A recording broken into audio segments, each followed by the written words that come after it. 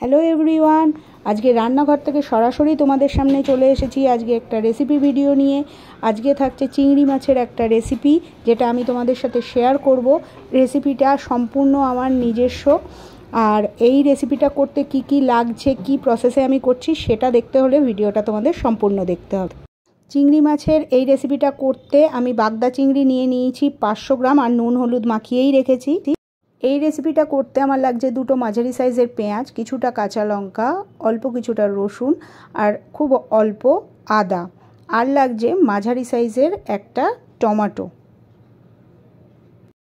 বাকি ইনগ্রেডিয়েন্টসগুলোও একবার দেখে নেওয়া যাক। এখানে আমি নিয়ে নিয়েছি আন্দাজ মতো চার মগজ, নিয়ে নিয়েছি আন্দাজ করে কাজু বাদাম, রয়েছে শাহি গরম মশলা গুঁড়ো রয়েছে ধনিয়া গুঁড়ো আর রয়েছে এখানে জিরে গুঁড়ো। কাজু আর চার মগজটাকে আমি আদা, রসুন, কাঁচা লঙ্কার সাথে একসাথে একটা পেস্ট বানিয়ে নেব। কড়াইতে তেল গরম হতে দিয়ে দিয়েছি। তেলটা ভালো করে গরম হয়ে গেলে দুটো মাঝারি সাইজের পেঁয়াজ আমি কুচো করে নিয়েছি। সেই কুচি করে রাখা পেঁয়াজগুলোকে আমি গরম তেলে ছেড়ে দিচ্ছি। পেঁয়াজটাকে খুব ভালো করে ভাজা করতে হবে।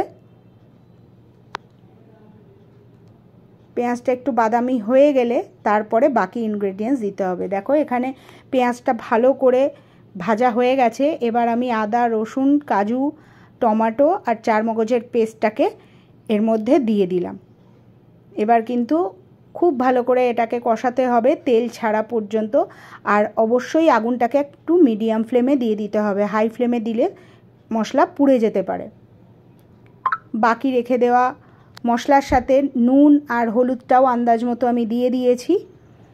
এবার সব কিছুকে একসাথে খুব ভালো করে মিডিয়াম ফ্লেমে রেখে কষাতে হবে। একটু যদি মনে হয় সামান্য জল ব্যবহার করা যেতেই পারে, দিয়ে দিচ্ছি আন্দাজ মতো একটু চিনি যাতে নুনটা ব্যালেন্স হয়। তো দেখো, এখানে আমার প্রায় কষানো কমপ্লিট, তেল ছেড়ে দিয়েছে। এবার আমি নুন হলুদ মেখে রাখা চিংড়ি মাছগুলোকে দিয়ে দিচ্ছি। হ্যাঁ তোমরা খেয়াল করেছ, চিংড়ি মাছ কিন্তু আমি ভেজে নিয়ে নিই চিংড়ি মাছ ভীষণ নরম একটা মাছ, ওটা কষাতে কষাতেই হয়ে যাবে। তো দেখো, এবার একসাথে আমি চিংড়ি মাছ আর মশলাগুলোকে, কষানো মশলাটাকে একসাথে একটু ভালো করে কষিয়ে নিচ্ছি, যাতে মাছের মধ্যে মশলাটা ভালো করে চলে যায়। দেখো মাছটা আমার ভালো করে কষানো হয়ে গেছে, তেল ছেড়ে দিয়েছে। এবার আমি মিক্সিটা ধুয়ে একটু সামান্য জল দিয়ে ঢাকা দিয়ে বেশ কিছুক্ষণ রাখব। তো দেখি ঢাকনাটা খুলে যে কত দূর হলো।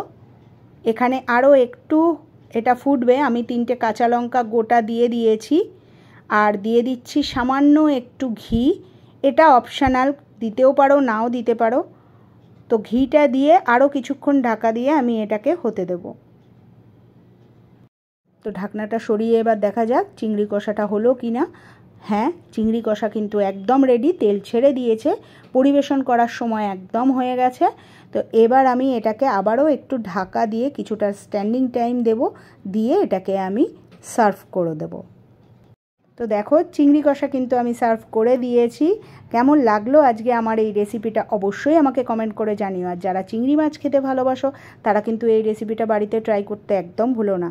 তো আমাকে কমেন্ট করে জানাতেও একদম ভুলো না। তো আবারও আসব নতুন ভিডিও নিয়ে। ততক্ষণ সবাই সুস্থ থেকো, ভালো থেকো।